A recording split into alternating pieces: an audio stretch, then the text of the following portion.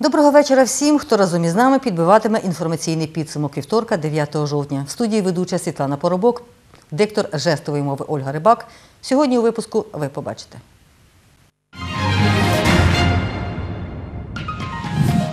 Покарати винних в отруєнні безпритульних собак вимагали сьогодні члени трьох зоозахисних громадських організацій Хмельницького. Піротехніки обласного управління ДСНС вирушили на Чернігівщину ліквідовувати наслідки вибухів на складах зброї. До 55 осіб зросла кількість хворих на кишкову інфекцію в Нетішині. У 30 пацієнтів підтвердили сальмонельоз. Покарати винних в отруєнні бездомних собак вимагали сьогодні півсотні людей у Хмельницькому. На акцію протесту вийшли члени трьох міських громадських організацій Врятуй життя, Зоозахист і СОС.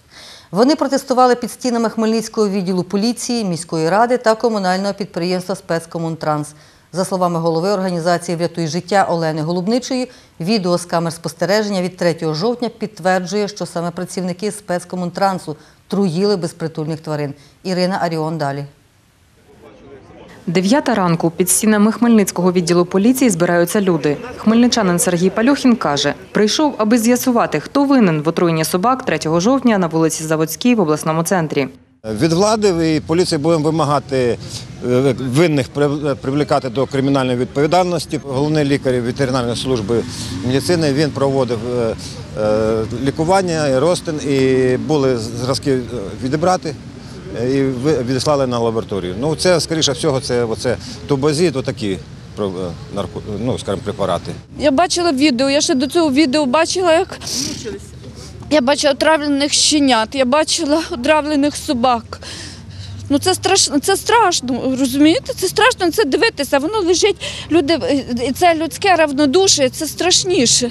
Ось відео з камер спостереження, яке 3 жовтня з'явилося на сторінці лікаря-ветеринара Кирила Чумакова у Фейсбук. На ньому видно, як двоє людей підкидають тваринам якийсь предмет. На відео ми побачили е, чітко директора центру поводження з тваринами. У нас є центр поводження з тваринами. Був завідуючий, який стояв під директором нижче. Ну так як він звільнений на сьогодні, це Бойченко, то на його місці його обов'язки виконував Медляківський Владислав.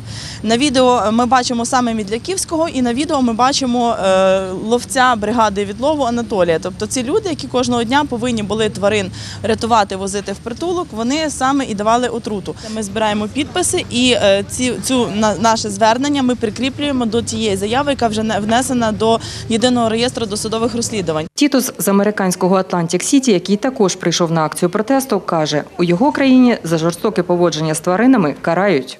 As a person from America, we take Так як у нас в Америці дуже захищають тварин, у нас притулки, у нас немає диких собак на вулицях. У нас люди піклуються про тварин. У нас це дуже суворо карається законом. Надіємо, що так буде і у вас. human being. It's my duty to make sure that I'm here to support that. Чи справді троїли собак, дізнатися у чоловіків, які зафільмовані на відео, нам не вдалося. Вони вчора звільнилися з роботи, сказав директор спецкомунтрансу Олександр Зімін. Я призначений тільки з 1 жовтня керівником цього підприємства. От. І ну, наразі не можу однозначно сказати, травили, не травили. Є відповідні експертизи, є органи внутрішніх справ. Я особисто їх туди не направляв, особисто вказівки. Е, З мого боку, з мого боку такої не було. В трудовому кодексі підстав для їх звільнення по статті не було. У Хмельницькому відділі поліції, куди запросили усіх учасників акції, повідомили, за фактом отруєння собак наразі відкрито кримінальне провадження за частиною першої статті 299 жорстоке поводження з тваринами. Я не можу називати прізвищ, не можу називати обставини і покази, які надаються в справі. Однак я можу сказати, що сьогодні за рішенням суду буде прийнято рішення про призначення е, експертизи відповідною. І буде залучена та особа, яка робила розтин цієї тварини. Для того, щоб оголосити підозру, необхідно зібрати достатньо доказів. Ми будемо робити в межах юридичного поля все, щоб е, особа була притягнута до відповідальності. Ірина Аріон, Володимир Паламар. Новини Поділля Центр. П'ятеро піротехніків обласного управління Держслужби з надзвичайних ситуацій на двох спецавтомобілях сьогодні виїхали на Чернігівщину. На цьому відео ви бачите момент відправки піротехніків. Там вони виконуватимуть завдання оперативного штабу ДСНС з ліквідації надзвичайної ситуації. Повідомив виконувач обов'язки прес-секретаря обласного управління Олександр Гулько. Нагадаю, сьогодні близько третьої ранку неподалік міста Ічня в Чернігівській області почалися вибухи на складах боєприпасів. Співробітник прес-служби управління ДСНС в Чернігівській області Євгеній Дубина повідомив, з райцентру та тих сіл, що розташовані у зоні ураження, евакуйовано понад 12 тисяч людей. Інформації про травмованих немає. Як повідомив заступник начальника Генштабу Родіон Тимошенко, на військових складах зберігалася переважно стрілецька зброя. Служба безпеки України розглядає кілька версій щодо причини вибуху, в тому числі диверсію. До 55 осіб зросла кількість хворих на кишкову інфекцію в Нетішині. У 30 пацієнтів лабораторно підтвердили сальмонельоз. Про це нам сьогодні повідомила завідуюча відділенням Організації епідеміологічних досліджень обласного лабораторного центру МОЗ України Тетяна Федак. За її словами, 17 хворих наразі лікуються амбулаторно, 38 перебувають в інфекційному відділенні Нетішинської спеціалізованої медсанчастини. Збудник сальмонельозу виявили в їжі, яку давали дітям, на території харчоблоку та у приміщення груп. Станом на 12 годину е, сьогодні зареєстровано вже 55 хворих, в тому числі 44 дітей. Із них до інфекційного відділення госпіталізовано 38 осіб, в тому числі 31 дитина. І на амбулаторному лікуванні знаходиться 17 хворих. За результатами бактеріологічних обстежень об'єктів довкілля у вогнищі із харчових продуктів у чотирьох зразках виділена сальмонела ентерітідіс, це капуста, морква, овочеве рагу, яблука. І в шести зразках змивів з предметів довкілля також виділена сальмонела ентерітідіс, в тому числі на харчоблоці. Це стіл овочі сирі, дошка м'ясо сире ніж м'ясо сире. В групах на дверній ручці, дверях до туалету і ручці водопровідного крану. І наразі епідеміологічне розслідування та комплекс протиепідемічних заходів тривають. Як повідомила завідувачка дитячим садком номер 6 міста Нетішина Алла Борисюк, наразі в дошкільному закладі тимчасово призупинили навчальний процес. Там працюють фахівці Держпродспоживслужби. Домашній арешт. Такий запобіжний захід обрав Хмельницький міськрайонний суд військовому комісару одного з військоматів області, якого підозрюють у вимаганні та отриманні тисячі доларів неправомірної вигоди. Про це повідомила прес-секретар Хмельницького міськрайонного суду Алла Плінська. Нагадаю, затримали підозрюваного минулого тижня, як повідомила речниця військової прокуратури Західного регіону Юлія Галущак. Гроші комісар вимагав за непризов на строкову службу військовозобов'язаного. Службовець підозрюється у вчиненні злочину, передбаченої частиною 3 статті 368 Кримінального кодексу України. Це отримання неправомірної вигоди службовою особою. Санкція даної статті передбачає покарання у вигляді позбавлення волі на строк від 5 до 10 років з позбавленням права займатися певною діяльністю на строк до 3 років, а також передбачає санкція покарання у вигляді конфіскації майна. На 70% першокласники Хмельниччини забезпечені підручниками для першого семестру. У повному обсязі є буквар, посібники з математики та іноземної мови. Про це повідомив директор департаменту освіти та науки Хмельницької обласної державної адміністрації Олег Фасоля. За його словами, не вистачає підручників з образотворчого мистецтва і предмету Я досліджую світ. На превеликий жаль, немає всіх підручників для перших класів. Раз е, лише одна партія підручників, 20, близько 20 тисяч, поступила у п'ятницю на минулому тижні. Сьогодні завершується їх видача, але ситуація е, змінилася в кращу сторону. На сьогодні 100% маємо підручники з математики, 100% маємо підручники із е, німецької мови, 96% це забезпечення букварем. 35% це забезпечення е, підручником Я досліджую світ, і 40% це забезпечення підручником із е, мистецтва. Олег Фасоля розповів, наразі для першокласників є друга частина посібників, за якими вони навчатимуться у наступному семестрі. Серед них буквар, підручник з математики із предмету Я досліджую світ. Ми продовжуємо підбивати інформаційний підсумок вівторка, 9 жовтня. І далі випуску ви побачите. Арт-село до кінця тижня з'явиться в самчиках Старокостянтинівського району. У Хмельницькій дитячій художній школі можна побачити мелодію пластики і кольору. Виставка діятиме до 19 жовтня. Хмельницькі спортсмени готуються до чемпіонату України з бразильського джиу-джитсу. Арт-село до кінця тижня з'явиться в самчиках Старокостянтинівського району. Місцеві художники та київські волонтери почали оздоблювати самчиківським розписом хати і паркани. Всього розмалюють 10 об'єктів. Як створюють арт-село, розповімо далі.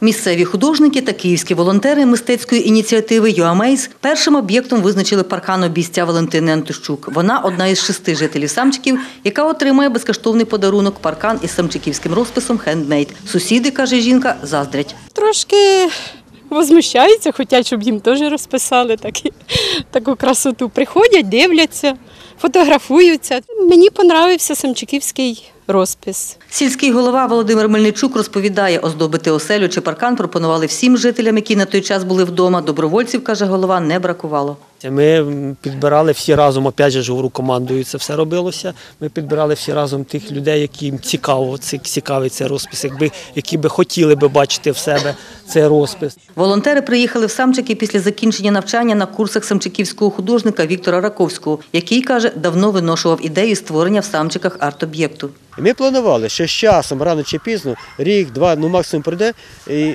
нами зацікавляться люди. І створять такий своєрідний. Проєкт Проект дуже цікавий, проект багатогранний, тому що тут входить не тільки розпис села цей проект, а ми хочемо зробити своєрідний такий ем, історичний тур, історичний турнеж будемо провести, виставки проводити, далі е, невеличкі майстер, навіть майстер-класи показати. Ідея знайшла підтримку наразі в створенні арт-села. Волонтер, столична журналістка Ангеліна Перчук, каже, мріяла долучитися до проекту. Для новое направление. Что, кстати, Для мене це новий напрямок творчості. Я дуже ціную культуру українського народу, а зараз саме процес відродження, підйому, і мені хочеться в цьому взяти участь. Волонтери працюють тут безкоштовно. В рамках проєкту їм оплачується проживання, проїзд і харчування.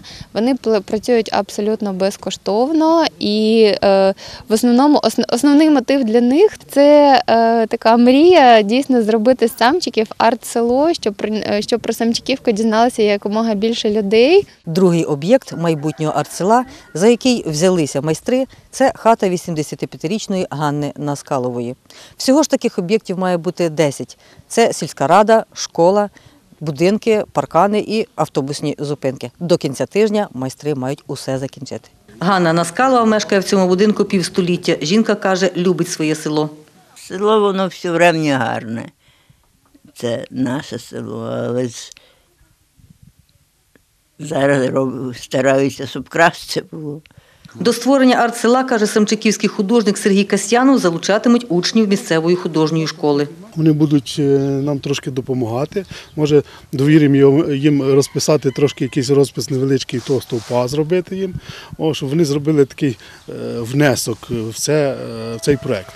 Створюють арт-село за гроші державного бюджету України. 466 тисяч гривень надійшли через мистецький фонд, куди ініціатива ЮАМЕЙС разом із Хмельницьким обласним науково-методичним центром культури і мистецтва подали проект зі збереження нематеріальної культурної спадщини та виграли грант.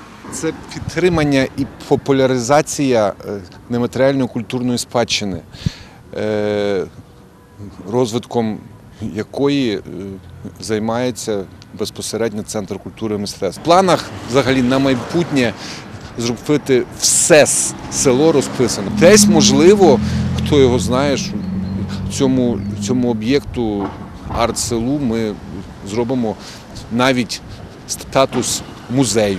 Малюнки на кожному з 10 об'єктів різні. Їх розробляли і семчиківські художники, і київські дизайнери. Кольори використовують сталої гами, каже Віктор Раковський. Ми знайшли таку фарбу. Це резинова фарба, фасадний акрил. Це водостійка, це морозостійка фарба, вона не боїться світла. Е, Термін її е, десь приблизно 10-12 років. Світлана Поробок, Віктор Кривий. Новини Поділя Центр.